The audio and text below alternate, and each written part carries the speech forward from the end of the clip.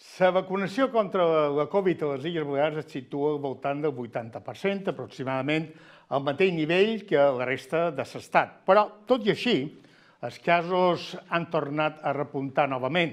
Hem de pensar que en un mes ens trobam en les setmanes de Nadal i Cap d'Any, moment de celebracions i de trobades amb molta gent.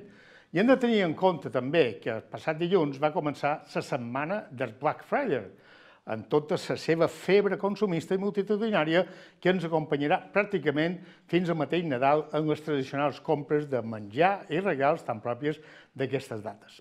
En aquesta tessitura, la vacunació continua sent la gran esperança de la societat davant la pandèmia. Per això resulta tan important convèncer les persones que encara no s'han vacunat. Com també és rellevant que la tercera dosis de reforç contra la Covid continuï ampliant-se a més a grups d'edat, sense deixar de banda tampoc la vacunació de la població infantil. Com ha afirmat en una interessant entrevista concedida a l'agència EFE i recollida per diversos mitjans de comunicació, l'eminent cirurgià, el doctor Iau Bonnin, és impossible saber què hauria estat de la humanitat sense les vacunes. Ni abans, ni tampoc ara, en aquesta època convulsa presidida per la irrupció de la Covid-19. Senyores i senyors, molt bones tardes. Ens donem la benvinguda a Salut i Força des de FIU i 4 Televisió. Moltes gràcies per la seva atenció i començam.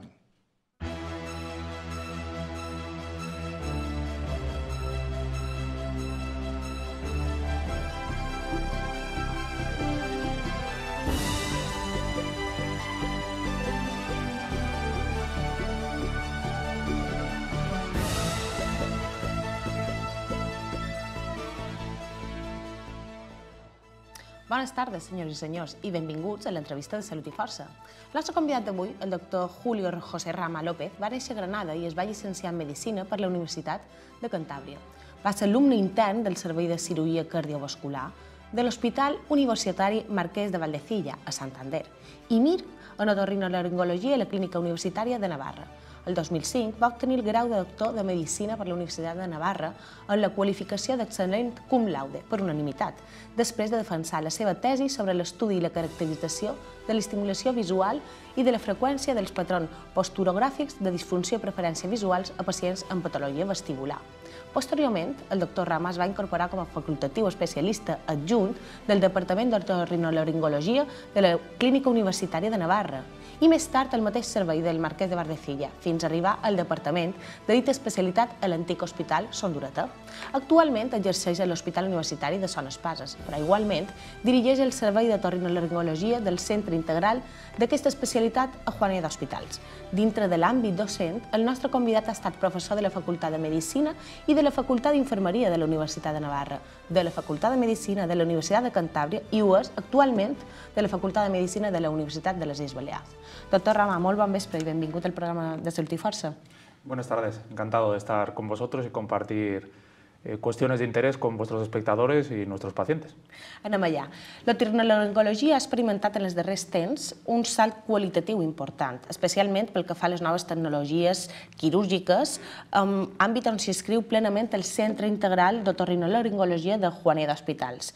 Quins han estat els principals avanços d'aquesta especialitat? Sí, efectivamente, a través de la tecnología que invade todos los aspectos de la sociedad, pues eh, la medicina no ha quedado exenta. La tecnología eh, tiene su parte buena y su parte a lo mejor menos buena. En la medicina, desde luego, es eh, la parte mejor que podemos tener y en eso tenemos la suerte de que Juaneda mantiene un compromiso y una, y una inteligencia de inversión en tecnología muy importante que nos permite al Centro Integral de Otorrinolaringología tener los últimos avances, como pueden ser pues, torres de última calidad de visión, visión 3D para poder realizar cirugías de inmersión dentro del paciente, eh, uso de exoscopios, es decir, eh, procedimientos de, de, visión externos al paciente, uso de neuromonitorización intraoperatoria, neuro, neuronavegadores o, por ejemplo, incluso eh, bisturís ultrasónicos. Una gran avanços en tecnologia, evidentment. D'una manera més específica, expliqui'ns, per favor, en què consisteix l'endoscòpia en otorrinolaringologia i quines indicacions té per als pacients. Bueno, la endoscopia en otorrinolaringología eh, hoy en día es eh, lo, los procedimientos más habituales. Somos, yo creo, la especialidad que más usa la endoscopia porque estamos acostumbrados a, trabajar en cavidades pequeñas. La nariz, el oído, la boca o, la garganta o la laringe son zonas internas que intentamos abordar de la manera eh, menos invasiva posible, de tal manera que usamos endoscopios rígidos, endoscopios flexibles, con diferentes angulaciones, incluso estamos trabajando en maneras de, abordar patologías con visiones externas al paciente, de manera que podamos ser menos agresivos y, por tanto, con una mejor funcionalidad de cara a los posoperatorios. Doctor Rama, en aquest procediments juguen un paper important, com deia abans, eh, les torres d'endoscòpia 4K, com les que compten el Centre Integral Juaneda. Veritat? Eh, en què consisteixen aquests equipaments exactament? Com funcionen i quins avantatges aporten al pacient? Bueno, las torres de visión 4K, eh, como ya estamos familiarizados incluso con las televisiones que podemos tener en casa, eh, representan la mayor calidad y de imagen que se puede tener. Lógicamente, que un cirujano esté cómodo y vea lo mejor posible en un quirófano es la mejor ventaja que puede tener cualquier paciente. Eh, esas cámaras están conectadas, eh, son unas cámaras especiales conectadas a unas torres de endoscopia con unas pantallas con la máxima calidad de visión que nos permiten eh, abordar múltiples patologías con una finura que está demostrado ya que mejora nuestros resultados a la hora de realizar las cirugías, no solo en nuestra especialidad, sino en otras, muchas otras especialidades. esta calidad de visión nos aporta un plus que, que sin lugar a dudas supone una ventaja de cara al paciente. La torrinolaringologia també es beneficia dels avanços de la cirurgia 3D, com comentava abans. En què consisteix ara aquesta tecnologia i quines indicacions té pel, el pacient pel que fa a aquesta nova tecnologia la medicina? Sí, la tecnología 3D es una tecnología que se integra en los, en los sistemas de endoscopia y en los sistemas de visión exógena que eh, nos permite eh, realmente eh, tener una inmersión completa como si estuviéramos dentro del paciente. Esa visión 3D te permite un reconocimiento mejorado de las estructuras, unos abordajes menos agresivos y una mejor visualización incluso en, equipos tan mejorados que nos permiten ya un buen manejo incluso de la profundidad de campo, que era una pequeña pega que podían tener la tercera dimensión en la cirugía. Aquí tenemos unas imágenes, ¿no? Eh, sí, podemos apreciar ahí, eh, en este caso es el uso de una, una, visión externa, que es el uso del exoscopio, pero eh, este uso del exoscopio va incorporado como un sistema de visión 3D Vemos en, este caso, eh, soy yo operando a través de, la cavidad oral del paciente, o sea, un abordaje mínimamente invasivo a través de orificios naturales y vemos cómo los cirujanos y, las instrumentistas eh, se colocan eh, gafas de visión 3D que nos permiten esa inmersión completa como si estuvieras metido, en este caso, por ejemplo, en la fosa nasal, en la fosa nasal del paciente, lo cual, lógicamente, mejora el tratamiento que puedes hacer de la, de la patología. Ara parlava, doctor, de l'exoscopi, eh, que és una altra de les novetats tecnològiques en procediments quirúrgics complexos. En què consisteix exactament l'exoscopi? El esoscopio realmente es un brazo teledirigido, semirrobótico, que permite una visión eh, alternativa a lo que podría ser el microscopio tradicional. ¿Qué, ventajas tiene? Bueno, lo que podemos apreciar ahí, una posición mucho más ergonómica del cirujano, es decir, estás en una posición mucho más natural, lo que, cual te permite en cirugías largas o complejas eh, que el agotamiento no se presente durante la cirugía y te permite una mucha, eh, mucha mejor calidad de imagen a la hora de abordar las estructuras con eh, una visión externa. Lo que se aprecia en la imagen es un brazo telescópico con una cámara que tiene situada en la punta que nos permite eh, abordar desde el exterior casi como si estuviéramos prácticamente dentro. Eh, y a la vez poder trabajar nosotros con las dos manos liberadas y no con un endoscopio en la mano. Eso, lógicamente, permite unas angulaciones y un abordaje de los campos quirúrgicos que nos obligan también a nosotros a realizar formaciones específicas eh, y de mayor calidad de cara a que nuestro, el tratamiento de las diferentes patologías pues, pueda ser eh, mejor, mejor dirigido.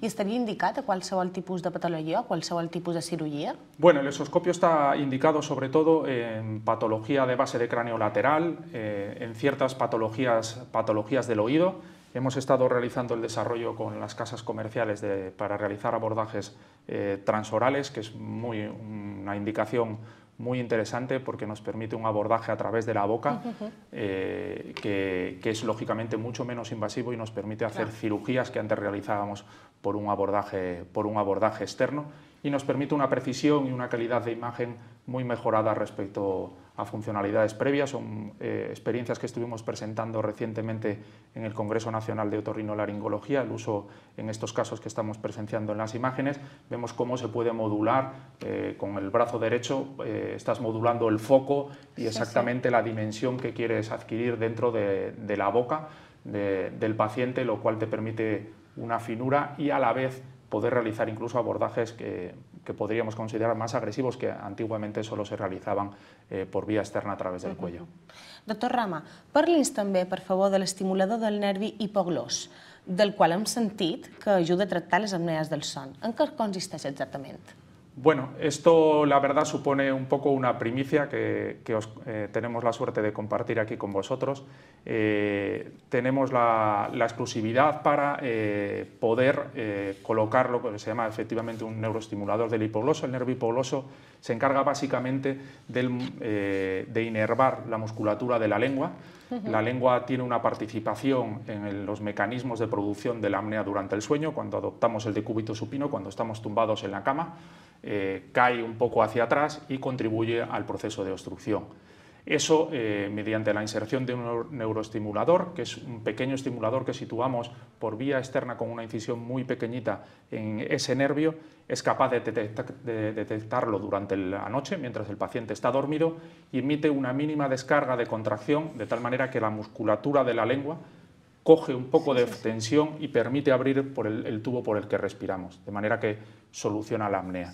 es una indicación eh, para casos de apnea que no tienen otro tipo de tratamientos que, o con una mala adaptación a los diferentes tratamientos, como por ejemplo la CEPAP, eh, que creemos que el futuro realmente del tratamiento de esta patología va un poco por esta vía y tenemos la suerte de poder disponer de ella en el Centro de Integral de Otorrinolaringología con la colaboración de, de Juaneda Hospitales. ¿Ya se está aplicando a algunos pacientes? Estamos justo en el proceso de implantación eh, porque requiere una, una formación y, una, y una calidad del estudio previo de los pacientes muy avanzados. En España todavía no se ha puesto ningún procesador de ese tipo, eh, se llama, denomina, eh, el neuroestimulador se llama Genio, que es de la casa Nixoa, que es una, un, poco un cambio de paradigma en la, en la, estimulación del nervio hipogloso. Hay otro tipo de estimuladores, pero creemos que, que, esta nueva vía abierta, que permite una estimulación bilateral de los dos lados con una única cirugía, eh, creemos que, que, es el tratamiento ahora mismo eh, mejor para este tipo de cuestiones. El Centre Integral de Juaneda Hospitals utilitzen també un monitor de funció nerviosa intraoperatòria per monitoritzar la funció nerviosa durant la cirurgia. Quina utilitat tenen aquests sistemes en la cirugía de otorrinolaringologia? Sí, es algo que usamos hoy en día con, con, muchísima, con muchísima frecuencia. Es más, ahora mismo acabamos de terminar una cirugía en la cual lo, lo hemos usado. Eh, la monitorización nerviosa nos permite eh, identificar las estructuras que debemos de conservar durante las cirugías. Eh, las, las, cirugías en, en, el área de otorrino son unas cirugías muy delicadas en las cuales pasan estructuras nerviosas que debemos identificar y conservar, como por ejemplo, y es fácil hacerse la idea, el nervio facial, que se encarga de mover la musculatura de la cara, el nervio recurrente, que es un nervio muy finito que se encarga de inervar la cuerda vocal y pasa pegado a la glándula tiroides, y es una tecnología que usamos pues, en, en el 100%, por ejemplo, de las cirugías de parótida que hacemos, en multitud de cirugías de oído, porque el nervio facial pasa justo por mitad del oído y, es una estructura que debemos conservar y en cirugías complejas o reoperaciones de oído eh, eh, lo usamos con, mucha frecuencia y lo usamos también eh, en el 100% de, los casos que realizamos cirugía del tiroides, porque el nervio recurrente, que se denomina recurrente porque baja por el tórax y sube hacia el cuello y se encarga de mover la cuerda vocal, es una estructura muy, muy delicada que debemos siempre identificar y conservar durante la cirugía y eh, este tipo de neuromonitorización nerviosa eh, nos ayuda mucho durante la cirugía y es algo que afortunadamente podemos contar con ello para, para la totalidad de este, tipo, de este tipo de cirugías. Un altre dels avanços és el neuronavegador, del qual sabem que millora molt la precisió quirúrgica en otorrinolaringologia. En què consisteix? En quines intervencions està més indicat i quins riscos evita? Bueno, el neuronavegador es un sistema básicamente de localización que nos permite, además de saber el punto exacto en el que nos encontramos, poder compatibilizar la imagen que nos está ofreciendo con las imágenes preoperatorias de escáner o resonancia que tengamos. Es un poco como esa imagen que tenemos un poco de ciencia ficción en la cual vemos a los cirujanos eh, viendo diferentes imágenes. Bueno, eso hoy en día es una realidad. Eh, las estructuras de otorrino eh, están cerca de estructuras eh, muy delicadas e importantes y son cirugías en las cuales el milímetro es muy trascendente. Por ejemplo, cirugías nasales, la nariz está muy cerca del ojo, de la órbita, y también está, es justo la base del cráneo. Es decir, está cerca de estructuras cerebrales en las cuales nosotros tenemos que movernos, incluso tenemos que abrir y adentrarnos eh, y esa localización nos ayuda a ser más precisos en ese tipo de cirugías o, por ejemplo, en cirugías de oído que también eh, pueden tener comunicación con estructuras nerviosas, centrales. Ese sistema de localización nos aporta un extra y es eh, una amplitud muy grande del margen de seguridad de cara al paciente, lo cual, lógicamente, para un cirujano es una herramienta muy útil. Ja per acabar, doctor, parla'ns una mica de la rinoplàstia ultrasònica, una tècnica menys invasiva que podria revolucionar els procediments de cirugía estètica del nas. En què consisteix? Bueno, la rinoplastia ultrasónica eh, básicamente eh, es el uso del bisturí ultrasónico en la realización de las cirugías de rinoplastia, básicamente cuando cumplimos con, eh, con una cirugía estética de la nariz. La nariz tiene dos funciones evidentes y no podemos eh, negar ninguna de las dos. Tiene una función respiratoria evidente y tiene una función estética también. Está en el centro de la cara y por tanto eh, esa segunda función también la debemos abordar cuando tratamos una nariz. Eh, eh, tenemos un poco la imagen de esas cirugías nasales que tienen que ser muy destructivas, del martillo, y eso hoy en día ya no lo usamos. El bisturí ultrasónico es una tecnología que nos permite realizar eh, afinamientos de la nariz y refracturas de las estructuras nasales mucho menos agresivas, mucho más precisas y mucho más cuidadoso con los tejidos. Hoy en día las cirugías de rinoplastia son cirugías en las cuales se produce mucha menos inflamación y mucha menos agresión de los tejidos circundantes, lo cual mejora de manera muy evidente tanto los resultados como la vivencia del posoperatorio del paciente. Es una, tecnología que, usamos en la totalidad de, las cirugías de rinoplastia que hacemos y la verdad es que estamos francamente contentos con su utilización, eh, que somos un poco pioneros en, ese uso eh, y la verdad con una obtención de resultados que sí que vemos clara mejoría respecto a otras técnicas posibles. Doncs moltíssimes gràcies, doctor Rama, per haver vingut avui vespre al programa Salut i Força, a FIC 4 i esperam tornar-lo aviat. Eh, encantado. Cuando, cuando queráis estaremos aquí en vuestra casa. La vicepresidenta del Col·legi Oficial d'Infermeria, Raquel Muñoz, va assistir en nom de la institució col·legial a la presentació del llibre Pon la magia en tu corazón, escrit per Lourdes Luque. L'autora és infermera comunitària i una gran apassionada de l'educació sanitària, pilar fonamental en el treball que desenvolupen aquestes professionals. Pon la magia en tu corazón és un conte que transmet coneixements i valors i que defensa la necessitat de transmetre informació sobre el suport vital bàsic als nins i nines durant la seva etapa escolar.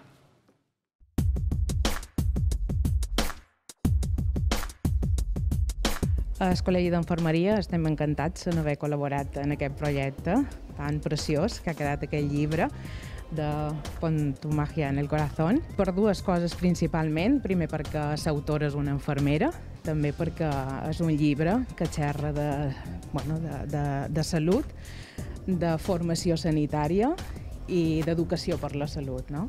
I precisament l'educació per la salut és un pilar fonamental de, de les enfermeres. Pon la magia en el corazón es un libro eh, editado eh, por la editorial Mr. Momo eh, y ilustrado por Pilar Sánchez Díaz. El tema que trata es el soporte vital básico en la infancia. A través de él se describen los pasos del soporte vital básico y cómo actuar ante una parada cardíaca y ante un atragantamiento de la vía aérea. Este libro permite a los más pequeños, tanto desde el ámbito familiar como desde el ámbito escolar, pues aprender esos pasos que son fundamentales pues, para salvar vidas. Si se consigue con una lectura o con una herramienta tan importante como es para los niños enseñar algo tan importante, no para ellos, sino para todos, como es poder actuar ante una parada cardíaca como testigos, pues es algo que vale la pena. La idea de Por la margen del corazón surge pues, con el interés de poner en el problema de, de, los índices tan bajos que tenemos de manera general en toda Europa, pero más acentuado incluso en nuestro país, de atención a la parada cardíaca extrahospitalaria son muy bajos. Eh, está claro que toda la población debería estar formada en esta materia, pero eso no es así porque las cifras demuestran todo lo contrario. Desde hace unos años ya todas las investigaciones, todas las sociedades de divulgación de la RCP se están centrando en los niños, en la etapa escolar por su obligatoriedad y en los niños por su facilidad en el aprendizaje pues eh, se están señalando como figuras claves para la difusión de soporte vital básico de manera masiva. Como autor también puedo decir que por la magia del corazón no solamente transmite los conocimientos de soporte vital básico, sino que se puede trabajar con los niños y se puede trabajar con los niños valores también tan necesarios como la empatía, la solidaridad, la autoconfianza y la capacidad de creer en aquellos potenciales que todos tenemos, pequeños y mayores y qué potenciales tan importantes aquellos que nos permiten poder incluso salvar vidas de otras personas. Ese es el objetivo del libro, en acercarlo de manera masiva a esa figura clave como son los niños, pero también quiero decir que, bueno, mm, aunque por la máquina del corazón está en un formato eh, y en una línea editorial infantil, el soporte vital básico no tiene edad con lo cual es un libro que puede estar y se puede adaptar a cualquier tipo de, a cualquier persona de cualquier edad.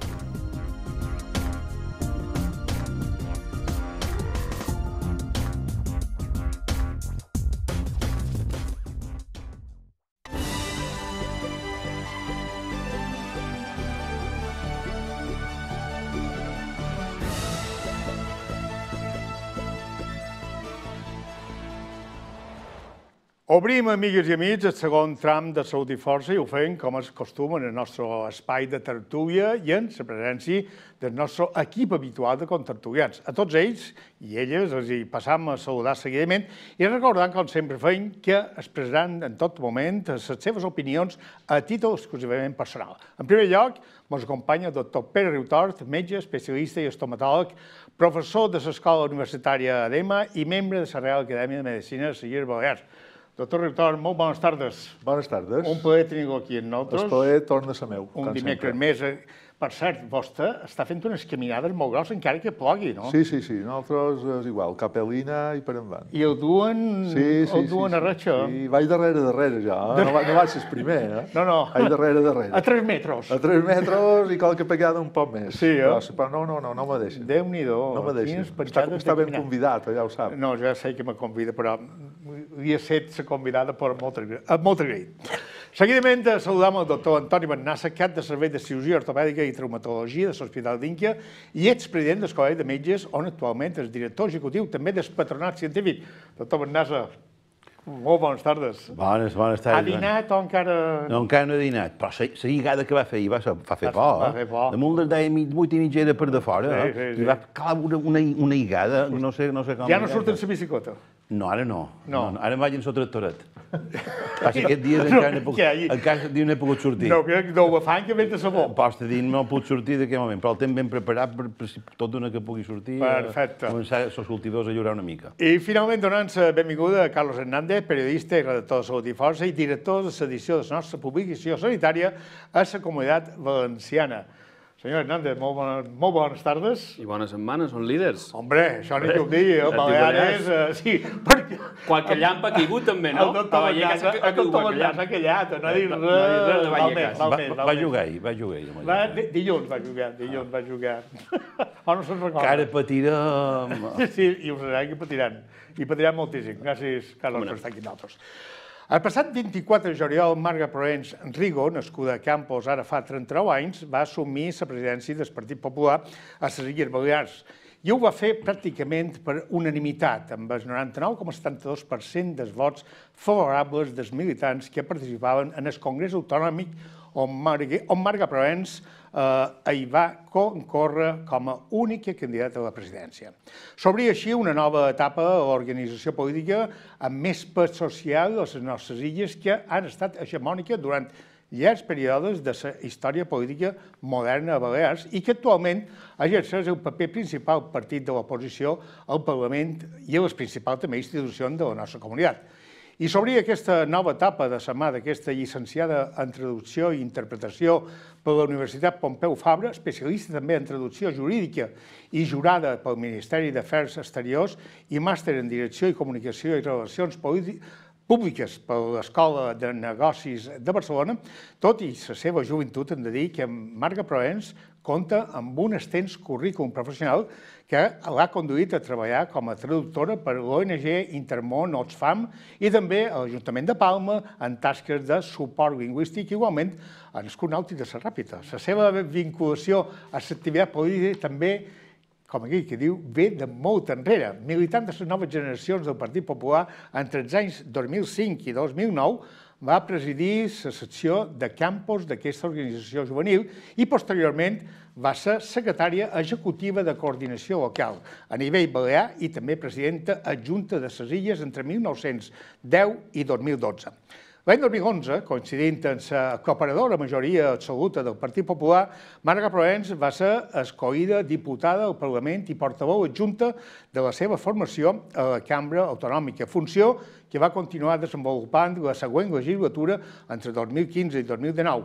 Abans d'assumir la presidència del Partit Popular Balear, la nostra contratuliana especial del programa d'avui va ser vicepresidenta del partit i secretària de Comunicació Interna a nivell nacional. Ocupa actualment un escó al Congrés per Balears, on ha estat diputada durant la tretzena eh, i l'actual eh, catorzena legislatura, responsabilitat que compagina en la de presidenta del Partit Popular a les Illes. De la seva mà, aquesta organització política confia en recuperar a les eleccions autonòmiques, insulars i municipals que es celebraran l'any 2023 la presidència i la direcció de les principals institucions de la nostra comunitat. Marga Troens, molt bones tardes. Gràcies per estar avui a la baixa aquí amb nosaltres. No, bones tardes i moltes gràcies per aquesta convidada. Després de dos períodes consecutius de pacte d'esquerres, ha arribat, com aquell que diu, s'hora del retorn del Partit Popular? Jo crec que sí, per això feim feina des del Partit Popular, però també això és el que ens transmeten eh, no només les enquestes, que al final són fotos fixes i que, i que canvien i, són, i són molt variables, sinó el que ens transmet la gent de, del carrer. Jo m'agrada fer política del carrer, jo venc d'una organització local i m'han ensenyat que la política se fa sobretot en les deportives posades i trepitjant el carrer i la gent de, del carrer mos atura, mos atura molt i, i, i mos diu necessitam que, que torneu, necessitam que s'acabi aquesta, aquesta etapa i que, i que presenteu una, una alternativa i amb això estem fent feina. En quina filosofia, Marga Proens, polítiques presenta el Partit Popular davant dels ciutadans de les illes i en què se diferencia, diríem, amb etapes anteriors? Home, jo crec que, que cada etapa du la petjada des, no només de, de del líder que, que, li, que li toca en aquell moment, sinó de, de l'equip que, que se conforma. No? Jo ho vaig dir en el meu congrés, jo me vaig presentar amb un projecte renovador, amb un projecte d'un partit popular de marcat caràcter liberal, de marcat caràcter reformista, un partit popular que mira la dreta europea, un partit popular modern, un partit popular obert, un partit popular sense complexos, un partit popular que diu les coses molt clares i que no pensa donar ni cap batalla per perduda ni entregar cap bandera a l'esquerra. -hmm. Les estadístiques, eh, efectivament, semblen afavorir la majoria absoluta, no afavorir la majoria absoluta de cap partit. Un pròxim govern eh, balear encapçalat pel Partit Popular eh, haurà de comptar necessàriament en representant de, de vots? Sí, jo, jo ho deia abans, que, que les enquestes són molt variables, que encara queda un any i mig i un any i mig en política, la veritat que és una eternitat. Jo faig feina per, per assolir una majoria suficient per governar en solitari. Jo crec que és important que els polítics, quan ens presentam, quan ens presentam en un programa electoral que, que elaboren els nostres equips, eh, que elabora eh, perfils molt tècnics en els que tinc la sort de, de comptar de veure jo, molta experiència de gestió, que puguis presentar-te i dir als ciutadans, jo crec que això és el millor programa. No? Per tant, jo confio en la força més votada, que és el que ens diuen les enquestes, en anar millorant encara aquests eh, resultats, seguint la tendència estatal, que també està a l'alça en el Partit Popular, um, aconseguir l'unió del centre-dreta baix al Partit Popular. Jo crec que això és imprescindible, que amb, un centre-dreta fragmentat en tres és molt complicat i hem vist a les darreres eleccions que el Partit Popular pugui assolir uh, majories per, governar i bastant veient com el centre-dreta se va unint baix el Partit Popular des de les bases. Nosaltres eh, cada dia tenim, i jo els rep en les portes obertes, eh, persones que s'havien anat del Partit Popular o bé que no hi havien estat mai i militaven en altres formacions polítiques que s'acosten al Partit Popular i que diuen jo apost pel canvi, per tant jo apost per vosaltres. No? Eh, dit això, jo crec que la pregunta eh, se li ha de fer a Vox i s'ha de fer a Vox a veure qui investirà si el Partit Popular és el partit més votat. Senyor Provenç, la pandèmia del Covid encara no s'ha superat i els seus efectes es deixen notar a nivell sanitari i també social-econòmic. Eh, S'han fet les coses bé, les Illes Balears? Sí, la pandèmia del Covid està ben present i jo crec que aquests dies que veiem com estan pujant els índexs de, de contagi, com estan pujant les hospitalitzacions, no podem baixar, eh, no podem baixar la guàrdia, no? ni, ni, ni podem relaxar. Hem de seguir amb aquest missatge de que la vacunació funciona a bastant gent i hem de seguir amb aquest missatge de, eh, de reforç de la vacunació i d'animar les persones eh, que, que encara no estan vacunades a que se vacunin perquè és l'única manera de poder recuperar aquesta normalitat. Uh, dit això, jo crec que la gestió de les Illes Balears, tot i que hem tingut unes bones dades uh, sanitàries i jo crec que això uh, s'ha d'elevar i jo crec que això mos alegra a tots, com no pot ser d'altra manera, la gestió econòmica, que també és important, no s'ha fet bé a les Illes Balears. Hem estat la comunitat autònoma amb més restriccions de, de tot Espanya. Som la comunitat autònoma on més ha caigut el PIB i l'única comunitat autònoma que no recuperarà tot el PIB caigut abans d'aquesta crisi del Covid durant, durant enguany. No? Per tant, jo, jo crec que això és, és preocupant, crec que no s'ha sabut eh, gestionar. Crec que aquest binomi que ens han posat moltes vegades de salut i economia és fals. Vol dir, és vera que la prioritari, jo crec que tots estem d'acord, els empresaris, els autònoms, els treballadors, totes les opcions polítiques que la prioritari és la salut, que sense salut no hi ha economia, però és que sense economia tampoc no hi ha salut. I jo crec que són massa també les persones que, que ho han perdut tot i són massa les persones que no han pogut seguir eh, el, el capdavant de, de, del seu negoci o dels treballadors que no han pogut tornar en els seus llocs de feina després d'aquesta de, de, crisi. Què ha faltat? Ha faltat gestió i, i, i avui nosaltres ho denunciàvem en el Parlament, nosaltres avui eh, reclamàvem en el Parlament que, que se fes una bona planificació d'aquesta possi possible onada que, que pareix que està, que està venguent, no? perquè no pot ser tornar a carregar la responsabilitat damunt, per exemple, el sector de la restauració. Avui a baixa, eh, o a baixa ja tornaven a sonar molt les alarmes de, eh, de que pareix que hi haurà moltes restriccions dures en el sector de la restauració. Jo me demano per què, i me demanen amb quina base, i me demanen si això ha servit servit tenir aquest estiu soci nocturn i el sector de la restauració tancat mentre tenia les festes il·legals o els botellons a la cera d'enfrente oberts. No? I, i, I que jo crec que quan prens una decisió tan dura per un sector econòmic ha de ser molt seriós, molt objectiu i basat en uns informes que no, que no hem conegut i que no hem tingut. No? Per tant, ha faltat gestió, ha, ha faltat valentia política, ha faltat escoltar més els sectors econòmics, perquè jo crec que els sectors empresarials són els primers que s'han compromès en les mesures sanitàries, com no pot ser d'altra manera. Mm. Ja que parlem de la gestió dels governs, senyora Provenç, que, que presideix, hem de dir, la Francina Armengol, més enllà de la crisi del Covid, quins retrets faria a la seva actuació? Jo el retrat principal eh, que faig és la seva actuació, tot i que jo sempre eh, ho he dit, eh? jo crec que gestionar aquesta pandèmia en una primera fase no va ser fàcil per ningú i qui ho digui està actuant des de la hipocresia. Jo crec que eh, la gestió d'un virus que no sabien d'on mos venia, d'informacions que anaven canviant les primeres setmanes, va ser complicadíssim i crec que, que s'ha d'agrair la tasca que varen fer totes les administracions de tots els colors polítics. No? Uh, a veure què li va passar aquesta primera aquesta primera i segona onada és on hi ha hagut les diferències en la manera de gestionar dels diferents governs. Què ha faltat? Ha faltat, per exemple, una llei de pandèmies a nivell estatal. No pot ser que encara no tinguem un suport jurídic que ajudi també a les comunitats autònomes a prendre decisions. En final, les comunitats autònomes estan totes soles. Com els ajuntaments s'han trobat també abandonats pel govern de les Illes Balears quan era l'administració on tothom va tocar les portes i a demanar explicacions. Però jo, de, si li he de fer algun retret, és la soberbia. Jo crec que la soberbia és la eh, pitjor companyera que té Francina Armengol i que, a més, aquesta soberbia està transitant de manera ràpida cap a autoritarisme.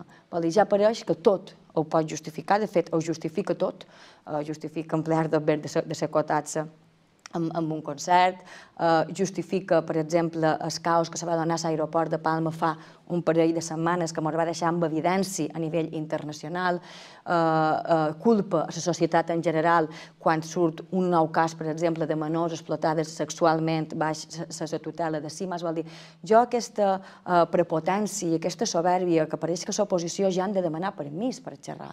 Vol dir, de qualsevol tema que xerrem el Partit Popular no pot xerrar d'això.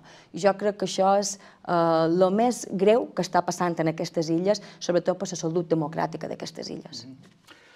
Doctor Vanessa, com sempre, vostè ha de començar el torn de preguntes. La nostra convidada avui, senyora Margarida Provens, presidenta del Partit Popular de Balears. Sí, sí, sí, bueno, evidentment, sempre solen començar, sí. Margarida. No, avui no hi podem fer preguntes. Però, però avui no poden fer segons quines preguntes, uh, però sí que poden començar, de, diguéssim, per lo baix. O sigui, realment, sempre inicialment la primera pregunta va a fer una aproximació del personatge, no? aquell home personatge, no? I l'aproximació seria um, aquella Margalida Proens de 12, 13, 14 anys, um, quins eren els seus somnis, no? Supos que en cap moment podria suposar que en aquell moment estiria un Parlament de, de l'estat espanyol, que estiria liderant un, un partit polític en, en possibilitats inclús de governar, quins eren aquelles, aquelles, aquells somnis que tenies eh, als 12, 13, 14 anys i què és que ha pogut passar per acabar a on has acabat? Ha estat una qüestió, diguéssim, de, de convenciment personal de que havia d'anar a la política, arribar on ha arribat, o de qualque manera ha estat unes circumstàncies que t'han duit? No, jo, jo crec que els somnis devien ser, o eren molt semblants de, de qualsevol nina, no? De 12-13 anys jo estudiava a Campos, jo, jo me, som de Campos i m'he criat a Campos. Sí que és vera que tot d'una que hi va me'n record, i no sé, devia tenir més o manco aquesta edat, eh, eleccions per, per delegat de, de classe, i llavors pel Consell Escolar sempre me presentava jo, ja vol dir, sabeu que ja m'agradava i, i ma mare sempre me diu que ja no me feien callar i que ma mare m'ha d'haurar de ser periodista el dia de demà, perquè eh, m'agradava radiar quan arribava a casa nostra tota l'actualitat que havia passat a, a l'escola. Per tant, supos que ja tenia qualque, qualque espineta, no?, de, uh, no sé si, si de liderar, però sí el manco de, de dir la meva, no?, i, i de defensar les uh, causes injustes. Jo crec que sempre era com a la gran defensora de, de, de, les causes, de les causes injustes, no? Uh, després uh, passa, passa una època que, Eh, que fas tot el contrari, que, que millor que, que te marquen a, a casa teva, no? I, i, i a nostra tenien una tendència política eh, de dreta del Partit Popular, i jo me'n recordo que les primeres eleccions que me va tocar eh, votar, que he votat sempre el Partit Popular, però que les primeres eleccions, això que, que, que, que, que meva, no? surt aquest tema a l'hora de, de dinar, jo vaig dir, pues jo no sé què votaré. Com que no? Dic, no, i me'n recordo que era a Campos i vaig anar a els mítings de tots els partits polítics, absolutament de tots, perquè volia tenir clar, eh, però ja era molt important, no?, aquest primer vot. De fet, jo estudiava a Barcelona ja i vaig agafar un avió per venir a votar, perquè jo trobava que sabia de votar en urna, i me'n recordo que era com a molt crítica i vaig voler veure quines to eren totes les opcions. Després eh, vaig votar per Partit Popular i no va ser fins que vaig acabar la carrera que, que me vaig afiliar. I me vaig afiliar més per una qüestió d'avorriment, crec jo, en aquells moments, perquè jo havia estudiat a Barcelona, torn de Barcelona a Campos, el vot era, va, va, va. era important i, uh, i, i me trobava que tenia molt, estava cercant feina, estava tirant currículums com qualsevol persona que, que ha acabat tocant a la realitat, tu que te penses que ho saps tot quan surts de la universitat i te diuen no saps absolutament d'acabar el món, i, i amb aquest impàs me varen oferir entrar en noves generacions i vaig dir, mira, pues, almenys faré alguna cosa pel, pel meu poble. I, i d'això ja vaig, vaig començar en, en la política. Molt bé. Carlos Uh, vostè es va donar a conèixer la política nacional en el Congrés de Diputats amb intervencions molt bones, molt dures, cap Irene Montero amb el cas de les menors tutelades i la veritat és que baixa sense paraules a la ministra. Aquí a Balears fa uns dies hem tingut coneixement que, que tenia Claderes, el president del Consell, a Javier de Juan i a Sofia Alonso, que va ser agafada vacunant-se la primera, els han ascendit com a càrrecs. Això, com a cap d'oposició, com ho valora? Perquè jo vull recordar que fa uns anys aquí un gerent de l'Hospital d'Inca va dimitir per cas Alfabanc, que malauradament va morir una persona, però que després la justícia va arxivar aquest cas. en aquest país on costa dimitir i no sé com valora vostè que els hagin ascendit. Jo eh, el, el vincularia a el que deia abans, no? en aquesta soberbia i en aquest manfotisme que s'ha instaurat ja en el partit eh, socialista, no? aquest me'n fot de tot, jo estic per damunt del bé i del mal i puc fer exactament el que vulgui. No? Uh, jo crec que és molt greu el que va passar la setmana passada, així ho vaig uh, denunciar, perquè és, uh, és premiar, és premiar uh, sobretot una gestió nefasta d'Incimas, sobretot uh, una persona que ha bloquejat qualsevol intent d'investigació eh, imparcial de el que està passant, jo sempre en les cartes de menors tutelades he volgut ser molt seriosa i de veritat que ha estat molt contundent i, i molt dura, però molt seriosa. Els culpables són les persones que abusen sexualment d'aquestes nines. No hi ha cap polític que sigui culpable de lo que està passant. Ara sí que hi ha uns responsables polítics d'aquestes menors que per això tenen la seva custòdia, que per això els han apartades eh, de, de, de les seves famílies temporalment perquè estiguin a un ambient protegit i que els responsables han de donar la cara i han de donar explicacions. I, de fet, jo vull recordar que Javier de Juan fins i tot va arribar a culpar en els mitjans de comunicació que haguessin tret a la llum aquests, aquests temes. No?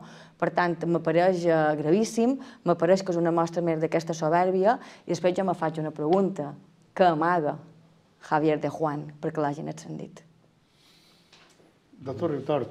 Sí, sí, jo sempre, eh, dels personatges polítics, eh, que tenim l'honor de tenir un avui, eh, jo sempre he cregut que hi ha dos tipus de, de polítics. No? Un que ho té com una professió, no? perquè ja hi neix. Ahir, precisament, eh, eh d'exposir que, que era que el senyor Montoro, no? que és un polític, que ho serà sempre. Ell va dir, jo vaig néixer polític i, i, i, i som polític. Uh, vostè, vostè quin perfil té? Creu en aquell polític que té una professió o un polític que té la política com a professió. Com, com ho veuen, això? Això crec que no m'havien demanat mai, eh? Mira que me n'han fetes de, que me fetes de preguntes. Mira, jo crec que en la política eh, com una passió, de veres. Jo m'apassiona la política i quan tu viu eh, l'activitat que sigui com una passió se dedica molt intensament.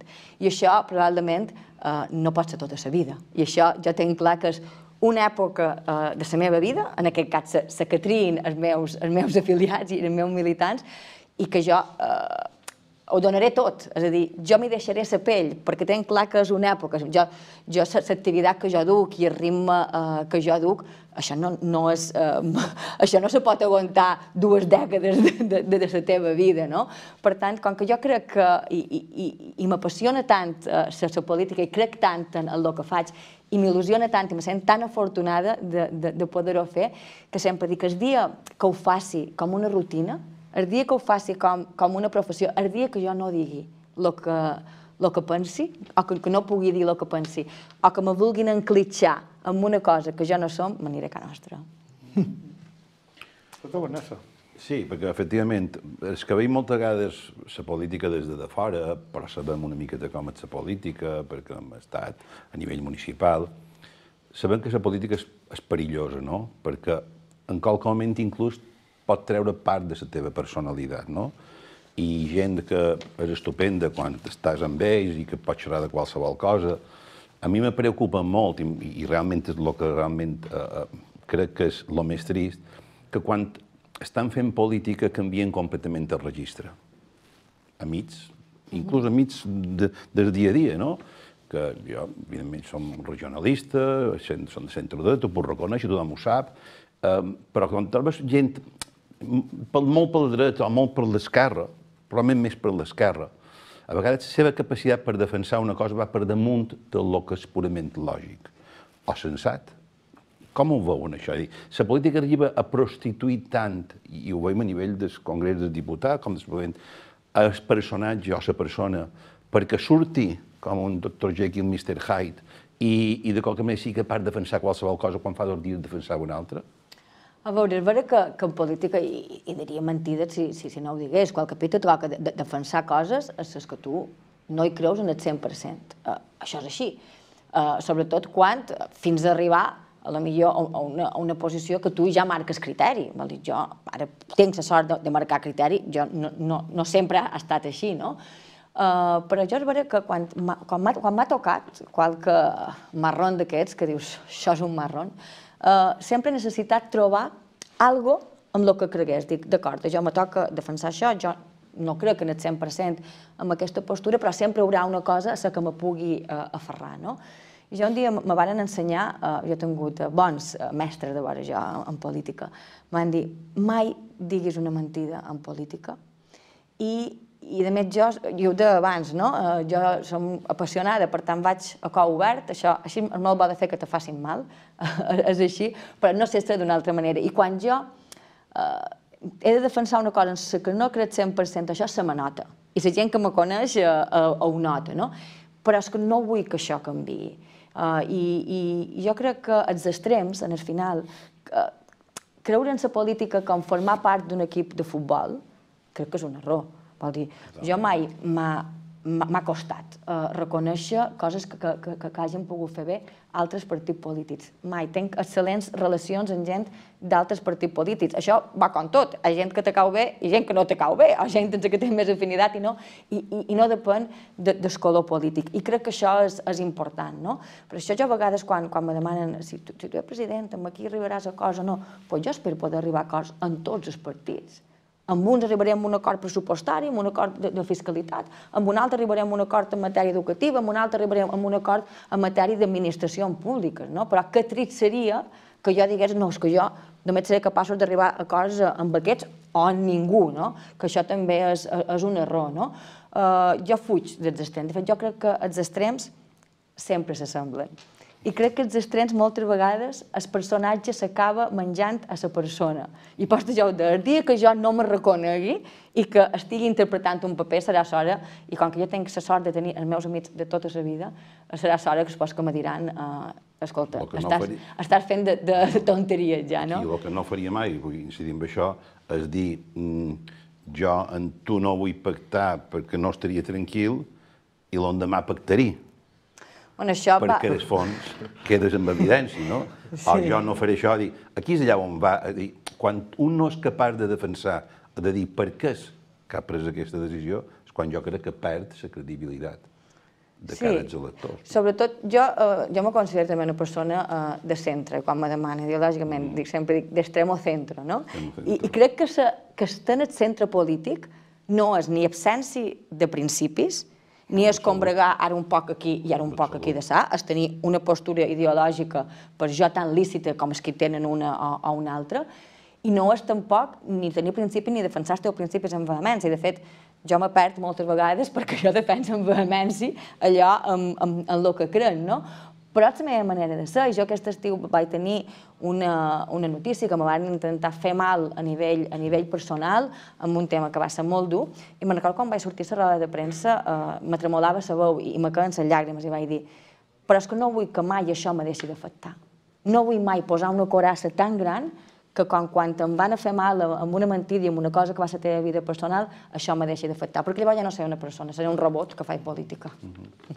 Carlos. Ja que, senyora Provença, estem en un programa de salut, vostè és una persona que en entrevistes ha dit que té una malaltia mm-hmm. crònica, ara passa per un gran moment, i és que està embarassada, com va dir a la xarxa social fa poc. No sé si li preocupa el fet, vostè ara té vida a Madrid i a Balears, més a Balears, és vera que està fent molta campanya aquí, molta política aquí. No sé si li preocupa els darrers mesos, tots sabem, vostè està en mare, que evidentment els embarassos genera cansament i la política està veient vostè, són 24 hores, se reuneixen gent, i li preocupen aquests darrers mesos de l'any que ve? Me preocupa tot, de fet. uh, diria mentides si, si, si no ho digués. De fet, del meu primer embaràs en aquest han passat 9 anys i la meva doctora uh, troba que he canviat molt mentalment, no? I és que en el primer, supos que és uh, habitual, no? Amb moltes dones, jo en el primer embaràs no me preocupaven la meitat de coses que m'estan preocupant amb, amb aquest, no? Uh, me preocupava les cortines, uh, quin model de cotxe et compraria i poca cosa més. De fet, ahir va, vaig tenir una revisió i, ent, i ja, ja se me canvia la cara, de primer que li dic míreme si hay latido. I jo crec que això també és un poc aquesta maduresa. I me preocupa perquè, uh, evidentment, uh, jo li vaig dir a la meva doctora, ¿puedo hacer vida normal?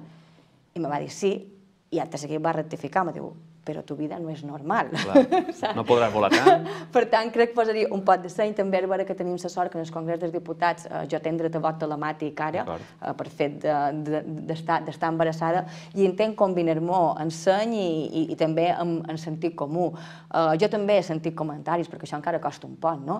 I, i ara com ho farà? Si està embarassada no, no, no, no podrà fer feina. I jo dic, ojo, no estic malalta. No, dic, dic, estic, sí, sí, sí, sí. estic embarassada i de fet jo crec que les dones quan estem embarassades, quan estem bé, no? que passes els primers mesos, tens una energia i sobretot una il·lusió sí. eh, que, te fa, que te fa tirar. No? I, I en quant a la meva malaltia, és vera que, que jo, jo he de ser sincera, m'ha costat molt reconèixer-ho en, en, en públic, oh, perquè simplement perquè considerava que era una cosa de, de la meva vida personal, però sí que, i, i, i perquè considerava que jo no volia ser exemple de ningú. Vol dir, jo tenc esclerosi múltiple, de, diagnosticada de, des de 9 anys, eh, és un diagnòstic que te xapa la vida, que, que te du a, a madurar. Jo estudiava a Barcelona, tenia mon pare i mon mare aquí, mon pare i mon mare, com us podeu imaginar, el primer que em van dir és torna, deixa la carrera i torna. I, i ja me vaig revelar, jo sempre he estat un poc, un poc rebel amb el que crec, que vaig dir no, jo, jo aquest a Barcelona i vull acabar la meva carrera. Uh, I i t'aixapa, no? És veritat que, que t'aixapa la vida. I mai he volgut ser, perquè gràcies a Déu estic molt bé i puc fer vida normal, en la meva medicació, en els meus controls, me fa un pot de por uh, ser un personatge públic, per dir-ho de qualque manera, i que i vol-me erigir com a, com a exemple, no? perquè hi ha gent pues, que, que, no, que no ha tingut la sort que, que, que tenc jo, i jo tenc persones que els van diagnosticar a la mateixa època que jo i, i estan bastant més malament. És vera que s'abans mèdic, i jo que m'he diagnosticat en de 9 anys, és, és, és una bona notícia, però sempre me fa un poc de pudor uh, aquest tema, no? I qualque pic, a l'associació, com, com ho diuen, és que t'acosta dir-ho, dic, sí, però no, no perquè m'acosti uh, reconèixer que tinc un, una malaltia neurodegenerativa, que això no, no m'impedeix, en el meu cas, fer vida normal, sí que fer-me portaveu de totes les persones que la tenen me genera bastant de respecte. Bueno, ja crec que és conscient de que el millor moment ara per mostrar com és una persona eh, del món de la política és la seva posició. Hi ha una llibertat no? per expressar, per tal. Eh, però també crec que ha de tenir en compte que les persones que estan en el govern, que estan eh, en aquests moments a l'altre costat de l'oposició, eh, tenen unes limitacions. En és conscient d'això a l'hora de fer oposició? Sí, Sí, i, de fet, eh, jo, jo crec que, que també és important, estant a l'oposició, no perdre la credibilitat. Crec que és important. I, i, i, no, i no demanar impossibles. I, i ser lleal. Vol dir, i si jo he tingut, la setmana passada vaig tenir una reunió, per exemple, la delegada del govern, perquè considero que era la meva responsabilitat eh, xerrar, anar a xerrar i demanar explicacions dins la meva funció damunt l'increment de la immigració irregular a les Illes Balears, perquè crec que és un tema que està preocupant moltíssim en els ciutadans i me preocupa que per la manca de solucions se pugui polaritzar no, a, a, a aquest tema. I ho vaig fer en seriositat, vàrem xerrar, va ser una reunió privada, de la qual jo, evidentment, he considerat que, que no havia de transcendir res perquè ha una, una reunió privada i, i, i així ha de ser. No? I, i, I també en, en els temes eh, de gestió, jo he dit, vol dir, jo crec que, que els partits, les persones que, que demanassen miracles durant la primera època de la gestió del Covid, ets ser hipòcrites, vol dir, no sabíem absolutament res d'aquest virus. Jo vull recordar que la que vaig anar a Madrid, en el Congrés, encara en l'estat d'alarma, duem guants i no duem mascareta, mm -hmm. perquè aquesta era la recomanació i, que, i que tots hem anat, hem anat uh, aprenent. No? Jo faig la crítica a partir d'un moment que ja considero que hi ha igualtat d'informació entre, entre, entre diferents institucions o diferents administracions i s'han vist les diferències. Però crec que la credibilitat és important. I això que diu és, és molt important, vol dir, ser conscients de que no tot és possible. Jo qualque cop veig qualque proposta de qualque grup de, de l'oposició que dic, bueno, eh, sobretot quan tu tens la eh, seguretat de que tindràs la responsabilitat de governar. Clar, jo, jo faig feina per governar d'aquí un any i mig. Per tant, jo no puc ara eh, demanar la lluna si jo sé que no podré aconseguir la lluna d'aquí un any i mig. Jo, per exemple, he fet una proposta les darreres setmanes molt clara, no? de, d'un tema de, de que eliminarem l'impost de successions i donacions i he agafat aquest primer compromís amb la, amb la societat, que el deixarem a 0% entre pares i fills i en el 50% entre tios i nebots i padrins i nets. Uh, per què he fet aquesta diferenciació? Perquè hem fet els números. Per jo és molt més atractiu dir que el llevarem a zero des del primer dia. Clar i el titular seria més guapo. i el tuit, perquè ara per que els polítics feim, feim, feim política a base de tuit, eh, tindria més retuits, no? Però eh, no és possible, jo tinc un equip econòmic que me diu fins aquí pots arribar, no? I de fet ahir eh, me'n donava compte que ja tinc com un poc el xip de, de gestió perquè era precisament per un tema de salut que demanava el meu, el meu equip econòmic. Moltes creus que això ho podran fer? Me diuen, no te lances, eh? estudiam. I jo crec que això és important, també. I doncs miri, senyor Lorenzo, el que està parlant, perquè a nivell sanitari, quin serà el llegat que mos deixarà la crisi de la Covid efectes, per exemple, de llistes d'espera i també de saturació hospitalària. I quina és la proposta del Partit Popular per fer front a tota aquesta situació?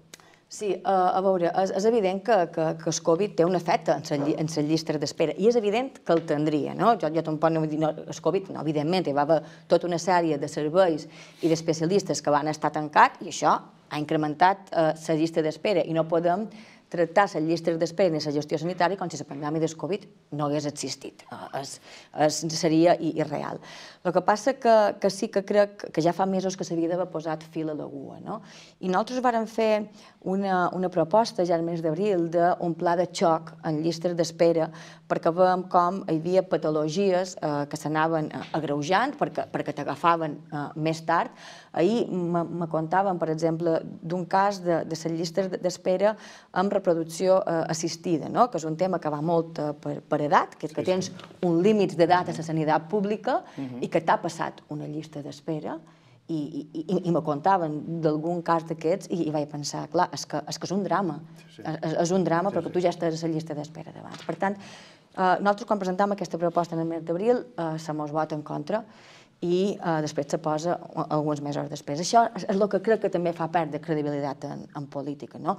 En el final, jo estic convençuda que dels governs sabien que era necessari, que era necessari una acció, nosaltres vam dir pla de xoc, de dir el que vulgueu, però una acció especial perquè el que estàvem vivint era molt especial no? i molt extraordinari. Uh, pues, me preocupa, uh, preocupa, me preocupa també la percepció que hi ha en el carrer de la eh, falta d'atenció sanitària, sobretot, per exemple, atenció primària. Jo les queixes eh, que, que estic rebent més és de, de, de falta d'accés, i jo crec que l'atenció que l'atenció primària, eh, nosaltres el que ens hem de comprometre és aquest accés en el teu metge de capçalera, a la teva infermera de capçalera, mm. de manera prioritària, perquè són porta, i vostès ho saben molt més que jo, que són experts, són, són porta de, de derivació i d'entrada de, de, molt, de moltes patologies. No? I després hi ha el tema eh, que és recurrent, que és la fidelització del personal sanitari. Vol dir, de, en el final tot, tot acaba aquí.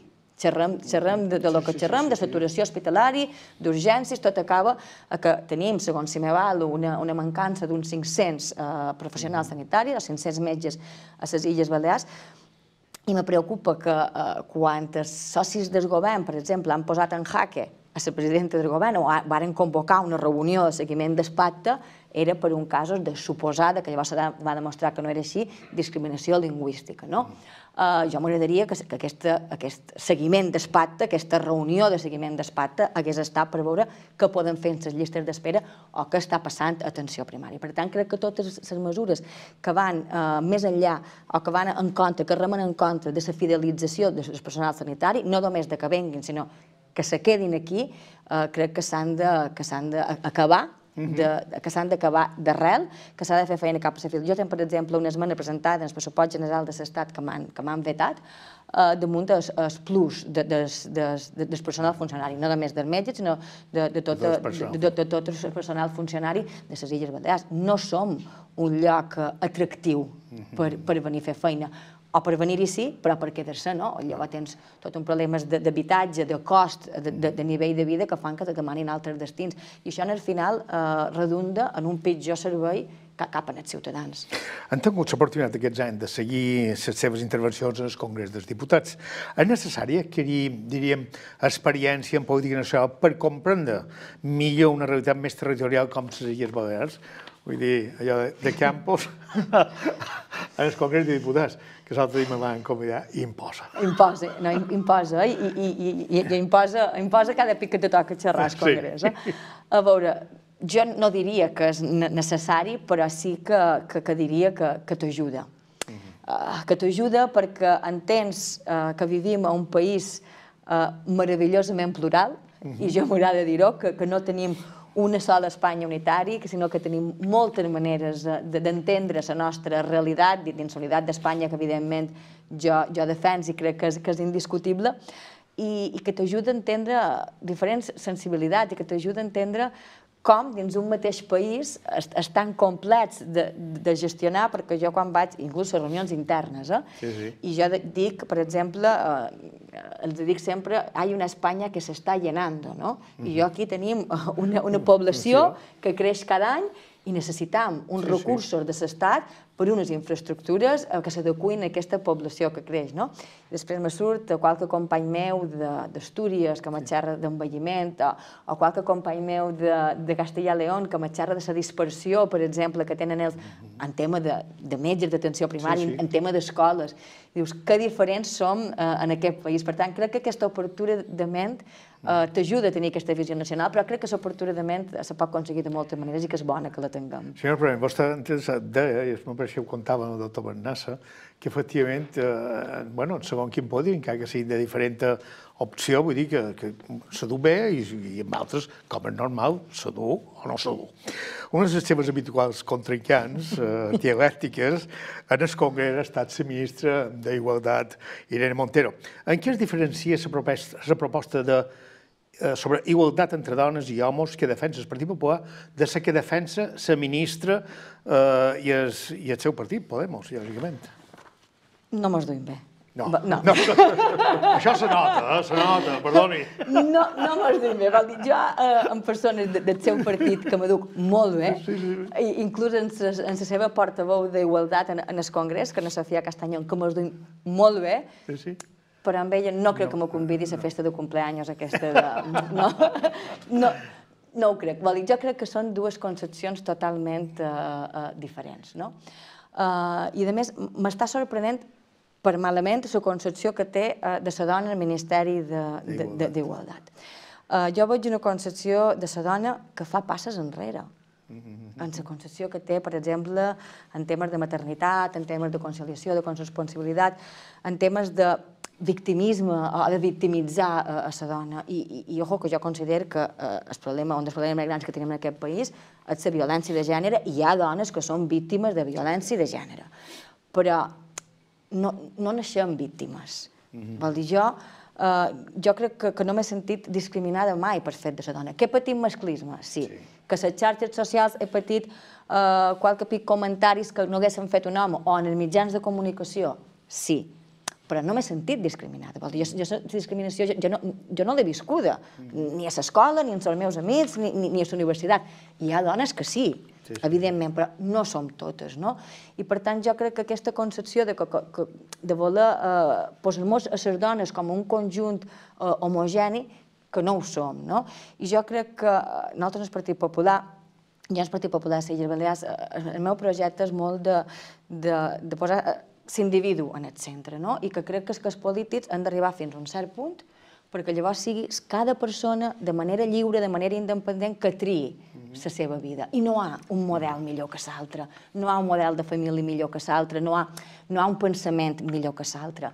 I, I el que li costa molt a Irene Montero és que jo me definesc, i jo me considero feminista. Sí, sí, sí. I això ella ah, clar, es cap, eh, se, se, se, se li bloqueja i, i, i no ho pot entendre de, de, de cap manera que jo, que sigui del PP, sigui feminista. I ha dit sí, perquè jo crec en la igualtat dels homes i dones, i això és el que vol dir feminisme. Sí, sí, sí, I que si sí. mos quedàssim en la definició de lo que és feminisme, jo crec que ho seríem tots. Uh -huh. El problema és que el terme feminisme, com que s'ha relacionat amb anticapitalisme, amb comunisme, amb veganisme, he vist qual, qual, sí, sí, qual, en qualque manifest que dius, però bueno, no? I crec que s'ha fet petit.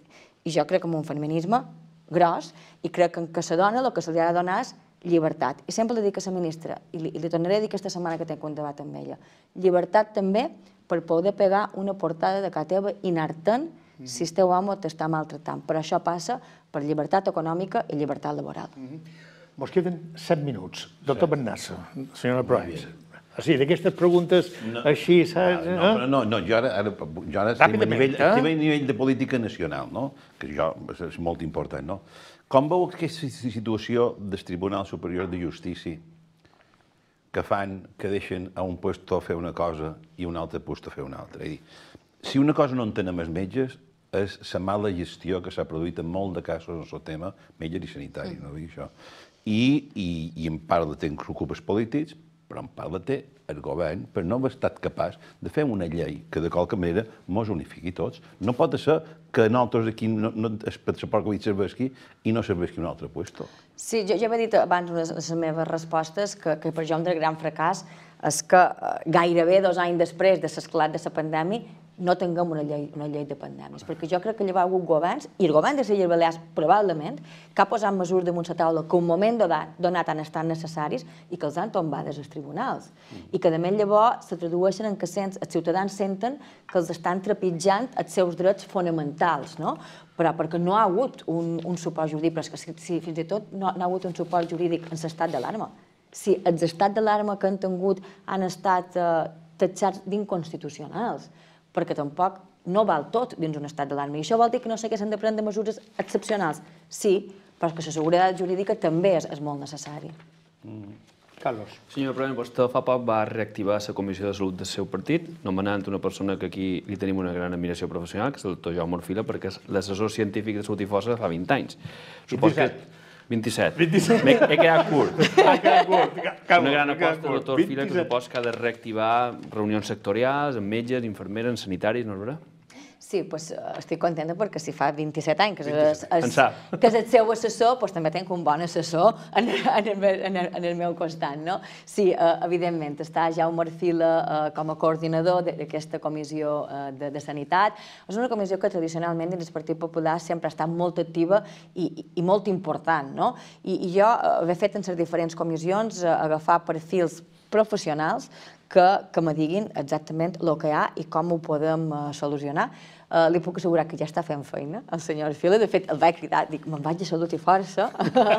I, i, I me va dir més o menys per on, per on podrien anar, anar, anar els tirs. Uh, i, i, I sobretot me va dir una cosa uh, que jo m'agrada, no? que, que vol dir que, que me coneix també, que me va dir, però Marga, sigues tu en el final sigues tu, jo crec que això és, és clau per, per, per, sobretot quan vas a un programa un poc més eh, específic d'una matèria que jo no domin i, i que, a més, jo crec que una persona que aspira a presidir govern no pot aspirar a dominar totes les matèries, sinó tenir bones persones de vora que dominin les matèries i tu la capacitat de lideratge i de presa de decisions que en el final és, és, és meva, no? I, I ja se sap que quan t'encert és un èxit de tots i quan m'equivoqui serà meu. Doctor Ruta. Ja que hem començat a parlar de temes de, de salut, que és el que nosaltres aquí estem uh, lluitant un poquet, què és el que més li preocupa en aquests moments? Quin és aquest primer objectiu que els agradaria canviar de la salut que tenim, de, de sistema sanitari que tenim? Bueno, el que, el que preocupa és, el moment actual és com tothom, no? és, és, és l'evolució de, de, de la pandèmia, que això és un tema eh, conjuntural que, que jo espero i voldria que en el maig de 2023 aquest tema, el manco sanitàriament, jo no sé com, com ho veuen vostès, però que el manco sanitàriament estigui, uh, estigui uh, superat i hi haurà altres, altres seqüeles.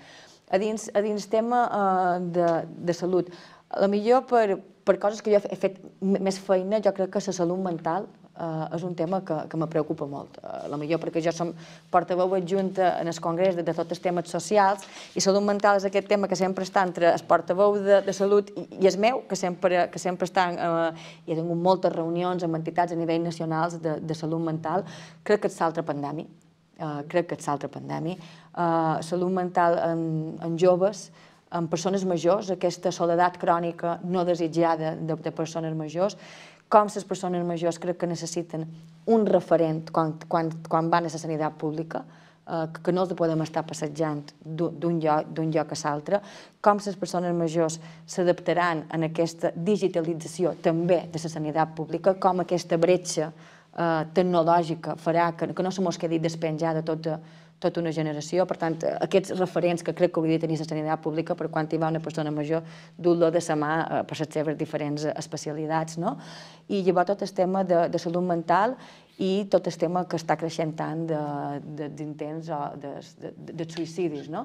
Uh, sobretot amb joves i amb, i, i amb adolescents, que crec que és un tema seriós i que l'hem de tractar com una, com una política prioritària dins del sistema de salut. I en la nostra tertúlia posam punt i final a aquesta missió de Salut i Força. Dones les gràcies als nostres contertulians que ens han acompanyat avui. Doctor Ritor, moltes gràcies per Gràcies a vostè. avui haver estat aquí amb nosaltres. Gràcies a vostè. Alain Hernández, també, Gràcies, moltes bones tardes. gràcies. Doctor Antoni Bernassa, anem a dinar, no es preocupi. No es preocupi, ja sé, ja ho veig que està, té, té una angoixa que no vegi, eh? Sí, sí, ara hi anem. I gràcies a tots tres. I, lògicament, el nostre agraïment especial a la presidenta del Partit Popular Balear i diputada en el Congrés, eh, Marga Proens, previsiblement, com no, candidata d'aquesta formació política a les eleccions autonòmiques de 2023. Marga Proens, moltes gràcies per avui, hora baixa, haver estat aquí amb nosaltres, acompanyar-nos. És veritat, ha estat un plaer. No, és revés, un, un luxe i espero que mos tornem a veure. Segur que sí. En tots vostès ens trobarem el dimecres que ve, a la mateixa hora, aquí mateix, a Salut i Força, a Figui 4 Televisió. Entretant, passin molt bona setmana i, com sempre els hi dèiem, es cuidin molt i siguin, com sempre, molt feliços. Adéu-siau.